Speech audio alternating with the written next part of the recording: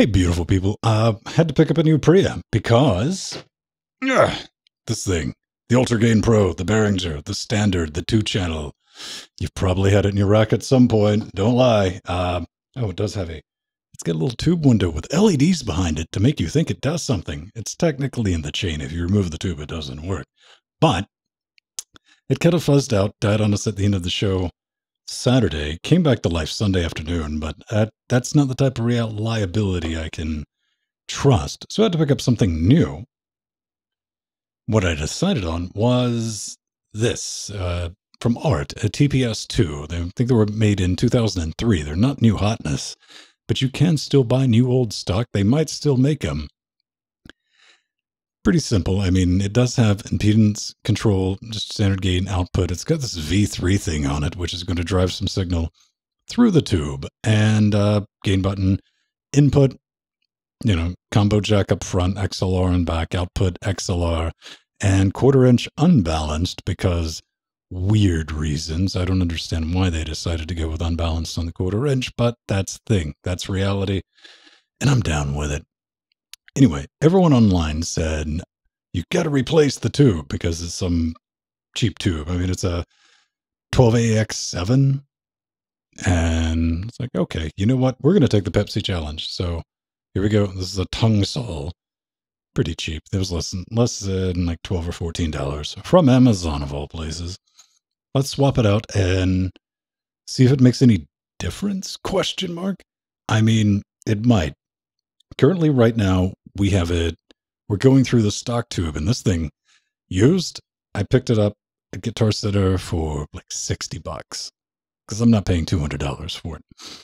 That's what I have. I have a sixty dollar preamp, which is enough to drive this uh, Golden Age Project D2 uh, dynamic mic, which is a low output mic, and you need to throw a metric S ton of gain into it just to get it up to level. It's running through it right now. It's plugged in. Uh, we're putting some signal through the tube if the gauge is to be believed, the VU meter, and it's set on warm voice. So let's swap this critter out, plug it back in, and see if we can tell any difference, which even if we can, you're watching this on YouTube, there's probably no way to tell, right? Okay, let's do that. Okay, let's get this apart. There are two screws um, on the left two screws on the right, and retaining screw in the front and the back, the top dead center. Once you have those off, the lid comes right off by pulling up. This is not going to be an issue. And we should now have access to our tube, the singular tube, in our quote unquote tube amp. Should be easy enough to swap this out ish. But we are going to swap it out with the Tung-Sol and find out if it makes it sound different. I don't even think I'm going for better. But what I'm going to try to do is kind of do it the right way and not get fingerprints all over the tube, but it was kind of stuck in there. And if you look, it's on a board on the PCB that is extremely wobbly. So I've resorted to using a jeweler's screw and the tried and true pry from left, pry from right, and it'll eventually come out.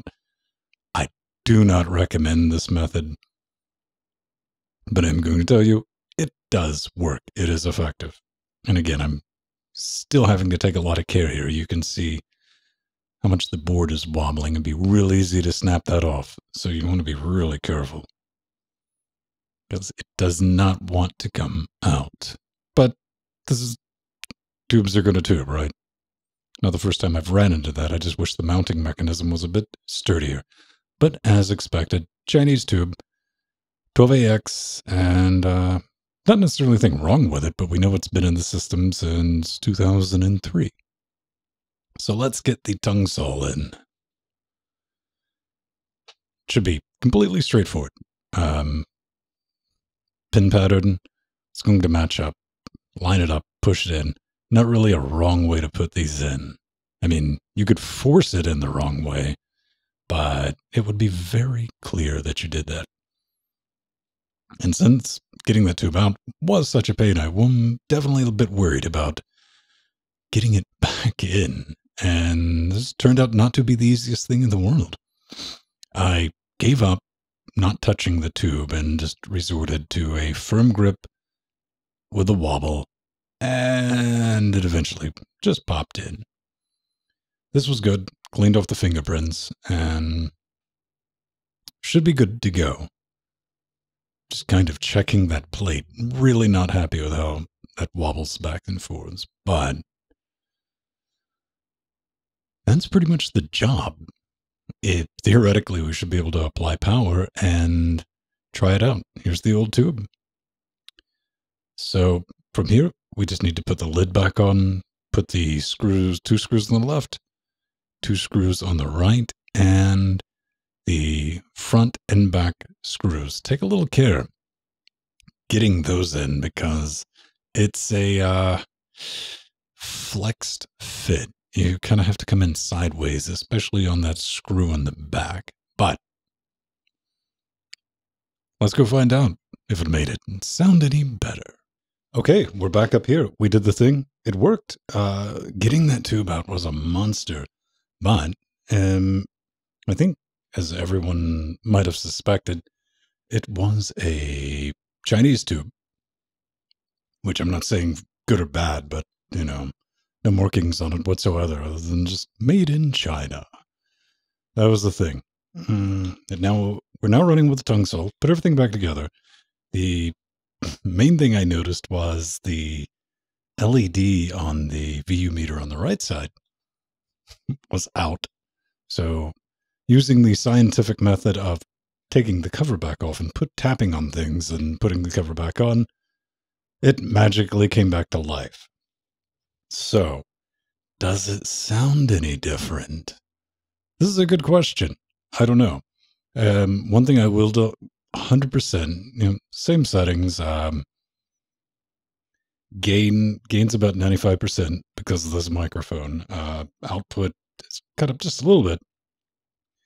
And the V3, the valve tuning thing that they have, is set on warm like it was previously because that is at least according to the meter driving signal through the tube. And that's going into the FCA 1616 um, over line in. And we're just recording it like that. More gain. Definitely. I'm going to say we got like plus eight, plus nine gain by the tube switch. And I don't know. I, I, don't like using words like warmer or anything. It definitely could be that it's just louder. Don't want to say bassier because one thing I like about this microphone is it's got a bunch of bass roll off switches. So I can talk into it without you just sounding like that. So, um, for better or worse, this looks like a new old stock unit. Is it worth changing it out?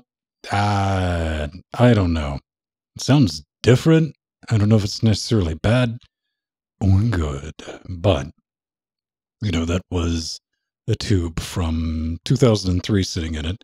Not saying they go bad or anything, but learning experience. But maybe you have one that you want to swap out tubes and play with, or tube, um, with its wonderful restricted plate design. And again, save those comments. I understand the difference between a tube amp and a tube amp. I don't know if it's worth doing, but it has been done. All right, that was it. Have fun. Bye bye.